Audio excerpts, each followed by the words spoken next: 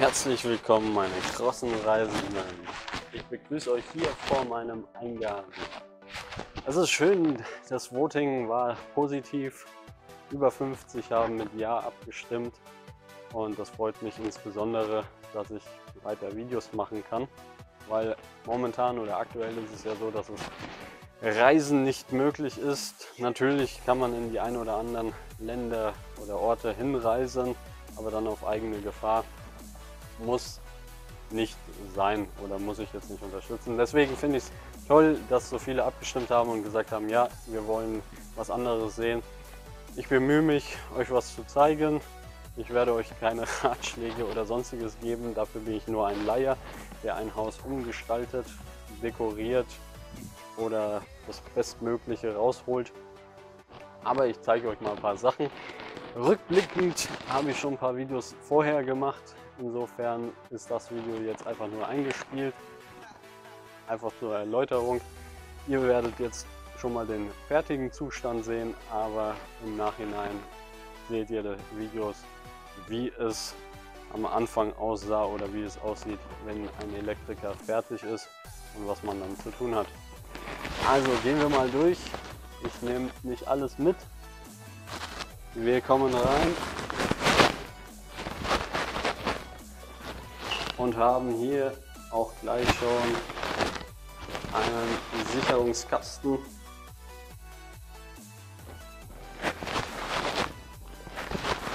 Ein späteres Wohn- oder Schlafzimmer, das kann man sich dann noch aussuchen. Und man sieht gleich, was für Tücken ein altes Haus hat.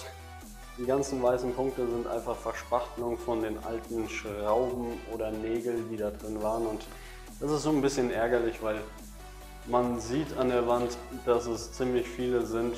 Und wenn natürlich der Vormieter oder die Vorbesitzer da nicht achten und einfach überall Nägel und Schrauben reinhauen, tut das einem dann selber weh.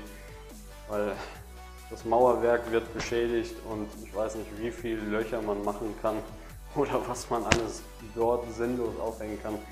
Keine Ahnung, kann ich euch nicht sagen. Im weiteren Video seht ihr, wie gesagt, wo alles offen ist. Was dann wichtig ist, ist wie gesagt mit Rotband am besten, ist so das gängigste, zu verspachteln und dann nochmal mit einem weißen Gips drüber, um einfach eine glatte Fläche zu bekommen. Auch äh, später im Verlauf, je nachdem was man machen möchte, ist es einfacher eine Tapete drüber zu setzen. Hier sieht man, dass es noch nicht ganz trocken ist. Muss auch äh, das Ganze. Aber im späteren Verlauf, wie gesagt, seht ihr dann einfach, wenn man eine Tapete drüber setzt, sieht man den Hintergrund nicht oder die Wand im Hintergrund oder auch wenn man streicht, ist es einfacher.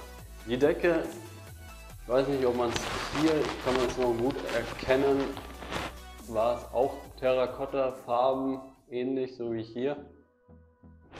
Haben wir drüber gestrichen, weiß nochmal, weil auch hier ist der Aspekt, oder man sollte klar darüber sein, wenn man die Terrakotta-Farben lässt und eine weiße Decke drüber setzt mit der Tapete, dann wird es durchschimmern.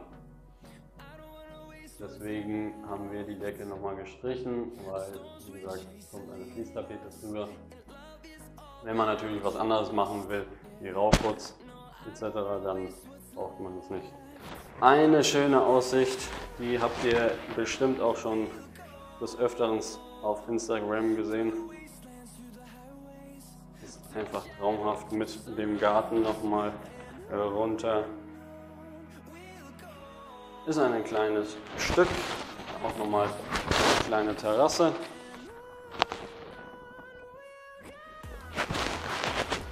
Und heute haben wir ein super traumhaftes Wetter.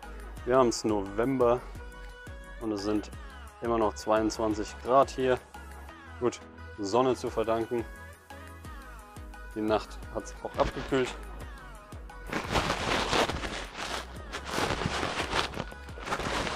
Und der Eingangsbereich von draußen. Die Fliesen sind jetzt nicht meins. Fliesen, Entschuldigung, die Gaskacheln. Das ist auch jeden seins. Jedoch muss man dann natürlich überlegen oder bedenken, wenn man so ein Haus kauft, hat man nicht sofort, ja, doch, kann man natürlich das Budget zur Seite legen, um sowas zu entfernen, aber das hat jetzt erstmal für mich keine Priorität. Insofern wird das erstmal dran gelassen. Hier habe ich dem Elektriker auch gleich gesagt, möchte ich Sprechanlage sowie Lampen links und rechts. Auch das immer bedenken vorab, was möchte man haben. Im Nachhinein ist es immer etwas schwieriger, wieder alles aufzustemmen oder neu zu verlegen. Insofern vorab Gedanken machen, wo will ich was haben. Wenn man hier und da nochmal, kann man ja vielleicht überbrücken, aber das Grobe und das Gängigste sollte man dennoch schon mal wissen. Ein kleiner Vorgarten. Nein, ist gut. Auch noch mal ein paar Quadratmeter. So ist das.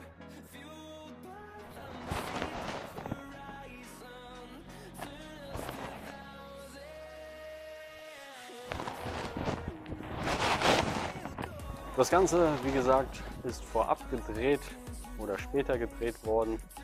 Deswegen kommen jetzt ein paar Videos, wie das Ganze vorher aussah und wie ich es zuspachtel. Und ich hoffe, euch gefällt das Ganze. Wenn ihr noch weiter sehen wollt, lasst einen Kommentar dort, lasst den Daumen da. Neue abonniert mich, dann könnt ihr weitersehen. Das würde mich sehr freuen. Wie gesagt, um jeden Abonnenten. Und wie gesagt, lasst unten drunter einen Kommentar da oder Fragen, was ich genau weiter filmen kann. Dann kann ich mich auch darauf einstellen. Wir sehen uns und hat mich gefreut, dass das Voting so positiv ausgegangen ist. Große Reisen. So, meine großen Reisenden, wir sind hier in der Küche. Ganz wichtig, der Elektriker ist jetzt fertig. Bevor man verspachtelt, wie ich euch zeige, erstmal Fotos, Videos,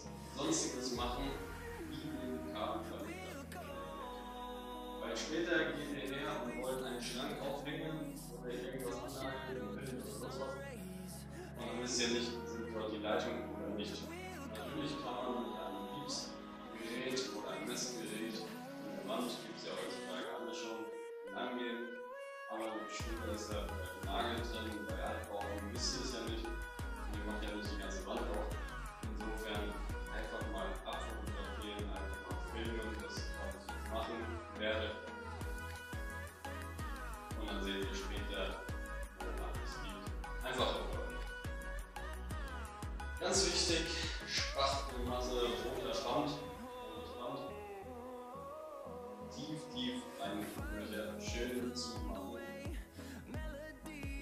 sind hier und da viele, viele Löcher, gerade weil wir die Kabel rausgeholt haben.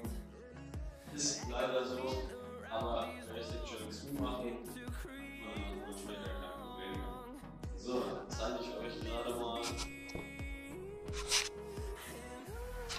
Gerade hier seht ihr, oder halt hier,